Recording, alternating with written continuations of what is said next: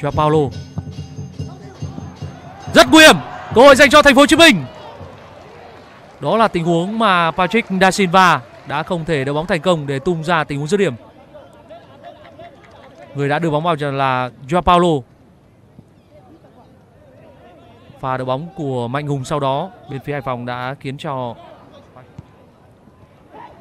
rất hay. Cho Paulo. Dứt điểm. Đó là cú sút nguy hiểm đầu tiên trong trận đấu này và là cú dứt điểm thứ hai của cho Paulo. Bóng đã đi đúng vào vị trí mà thủ thành Văn Toàn đã chọn sẵn. Cùng với đó là một pha cản phá rất quyết liệt tới từ Mạnh Hùng. Sự khó lường được diễn ra, do đó cả hai đội bóng đều chơi tương đối chặt chẽ, đặc biệt là với đội bóng đất cảng. Patrick Da Silva. Lý Nguyễn dứt điểm rất nguy hiểm và đó là bàn thắng mở tỷ số dành cho thành phố Hồ Chí Minh. Rất bất ngờ. Cú sút xa đẳng cấp của Lý Nguyễn. Như chúng tôi đã cảnh báo, khi mà những tình huống phối hợp của thành phố Hồ Chí Minh không thực sự được trọn vẹn, thì những tình huống dứt điểm từ xa là một trong những điều mà họ cần phải tính toán. Và lần này, người đã thực hiện quả đá hết sức tuyệt vời là Lý Nguyễn. Cú sút hoàn hảo và không cho thủ thành Văn Toản bất kỳ một cơ hội nào để có thể cản phá. Đó là bàn thắng thứ tư của Lý Nguyễn ở mùa giải hôm nay.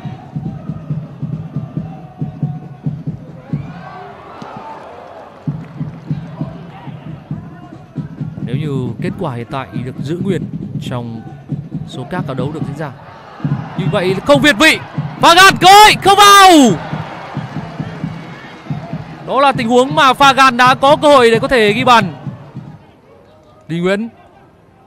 Rất tốt. Thành phố Hồ Chí Minh phản công. Joao Paulo. Tốc độ của Joao Paulo. Rất hay. Rất điểm. Rất đáng tiếc. Đó là cú sút tới từ vị trí của Lâm Tỷ Phong. Pha phản công vừa rồi của Thành phố Hồ Chí Minh thực sự là ấn tượng một chút chính xác nữa thôi thì Lâm Tỷ Phong đã có thể làm nên chuyện. Ta cùng xem lại tiếng này. Joao Paulo là người đã nỗ lực để đưa bóng vào. Nhưng cú sút của Lâm Tỷ Phong lại đi đúng vào người của Ly Nguyễn rất đáng tiếc. Đỗ Văn Thuận. Là Trọng Long. Trọng Long dứt điểm. Những tình huống sút xa đang mang lại rất nhiều sự khó chịu dành cho các cầu thủ Hải Phòng. Thành phố Hồ Chí Minh đã thực hiện rất nhiều những tình huống như vừa rồi đó là và dứt điểm không chính xác của Trọng Long, nhưng nó cũng cho thấy được sự tự tin của cầu thủ này. Bóng vào trong của Ly Nguyễn, nhưng tình huống lao vào của Lâm Ti Phong là hơi chậm. Rất nguy hiểm. Gol công vào! Đó là tình huống cứu thua của thủ môn Bùi thị Dũng. Cái trên các sân vận động của cả nước đang diễn ra rất sôi nổi, rất nhiều bàn thắng đã được ghi rồi chúng ta vừa xem.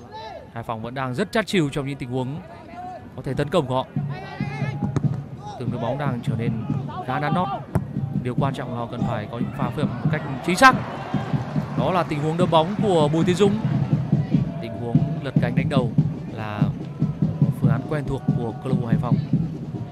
Trong trận đấu ngày hôm nay khi bị dẫn trước thì họ có lý do để thường xuyên làm điều đó hơn nữa. Ta vừa xem lại Lâm Tỷ Phong qua người. Đường truyền của Lâm Tỷ Phong dành cho Patrick Da Silva, dứt điểm không được. Hải Phòng đã kịp thời lùi về. Huy Toàn dứt điểm từ xa. Rất nguy hiểm. Đó là pha xử lý không an toàn của thủ môn Văn Toàn. Tình huống lao vào sau đó là của Patrick Da Silva. Rất may cho Văn Toàn là Patrick đã không thể thực hiện thành công tình huống lao vào và tận dụng cơ hội.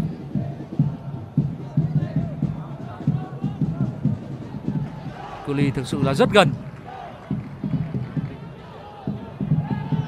Đây sẽ là một cơ hội không thể tốt hơn để Lý Nguyễn có được bàn thắng thứ năm ở mùa giải này và cú đúp cho riêng mình ở trận đấu này. Lý Nguyễn, dứt điểm, không vào! Cú sút điểm vừa rồi của Lý Nguyễn là khá tốt, nhưng không thể đánh bại được thủ môn Văn Toản một lần nữa. Văn Toàn đã rất tỉnh táo. Đường đi của bóng là khá tốt, nhưng không đủ hiểm hóc. Bây giờ sẽ là một quả đáp góc dành cho Thành phố Hồ Chí Minh.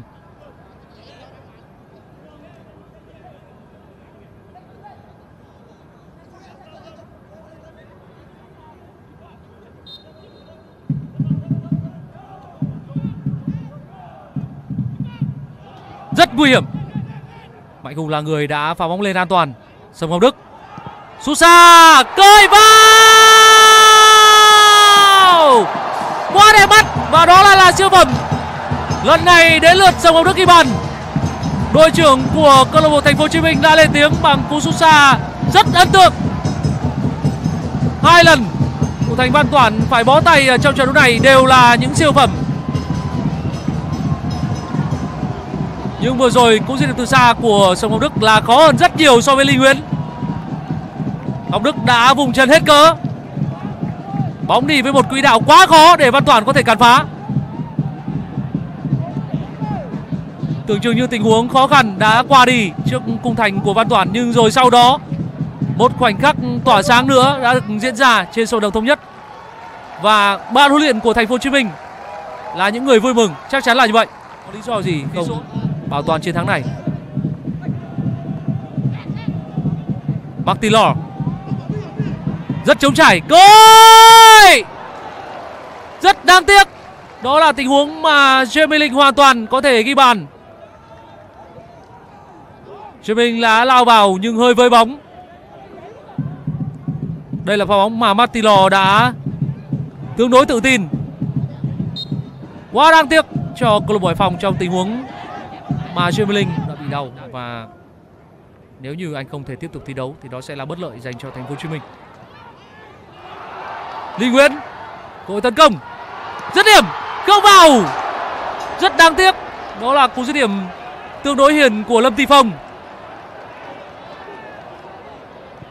chính xác và có được một lực đi mạnh hơn một chút thì Lâm Ti Phong hoàn toàn có thể ghi bàn thắng cho riêng mình.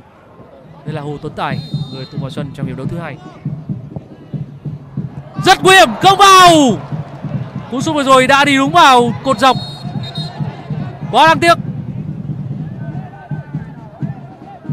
Chúng ta cùng xem lại một lần nữa cú sút xa rất đẹp mắt của mạnh hùng.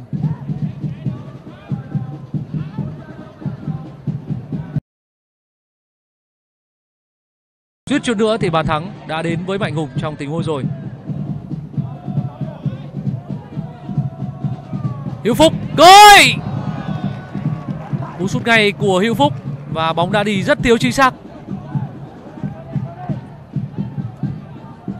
Đó là một pha chuyển bóng tốt của Batilo Hữu Phúc giữ lại một nhịp thôi, Có lẽ cơ hội sẽ đến một cách rõ ràng.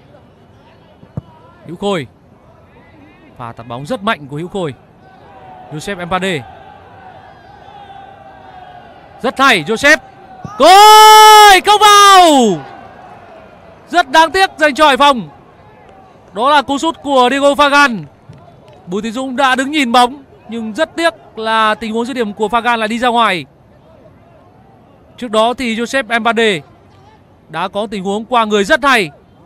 Thanh Bình là người đã bị qua mặt một cách tương đối dễ dàng. Tăng Tiến không thể có được một tình huống tạo ra áp lực đấu sau thì câu lạc bộ Hải Phòng sẽ trở về sân nhà của mình để tiếp đón top lên Bình Định. Tiếng lên bóng dành cho Thành phố Hồ Chí Minh. Linh Nguyễn, Linh Nguyễn rất hay, cơ rất đáng tiếc. Cú dứt điểm vừa rồi là của Văn Đức. Bùi Văn Đức đã lao lên rất nhanh. Lý Nguyễn không cần có quá nhiều sự quan sát cũng có thể tung ra không thể có những tình huống phối hợp như mong muốn.